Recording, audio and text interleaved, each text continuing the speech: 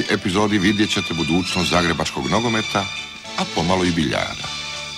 Sve što je dotad bilo viđeno u Maksimiru palo je u duboku sjenu čuvene utakmice u kojoj je Dinamo pobjedio s više od 20 komada razlike, a kronika kaže da je te nedjelje na trenerskoj klupi sjedio Bongo Vragec. Znači, nema ga.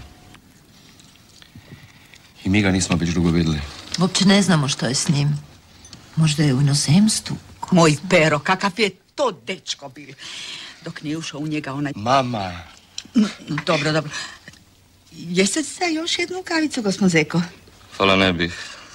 Nego Pero mi jedan put rekao. Ako mi se kaj dogodi, potraži Bonga. To je on. Znam. Bog Bongec. Bog Zeko. Znaš da nam slabo ide? Znam.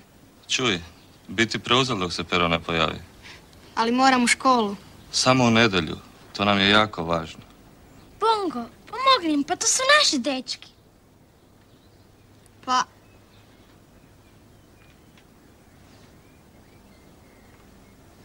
Dobro. Hvala Bongo, naši su.